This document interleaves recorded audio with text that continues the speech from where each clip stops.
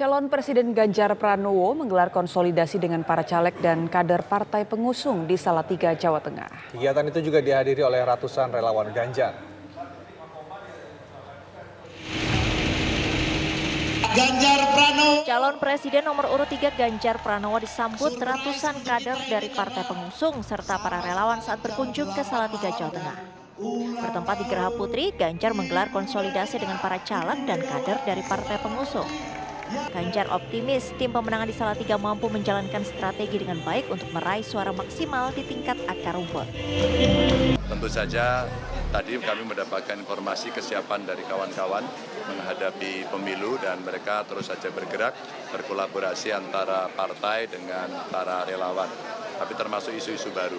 Kami selalu mengingatkan eh, jangan takut dengan tekanan, tetap maju, dan mereka rata-rata menunjukkan apa semangat itu.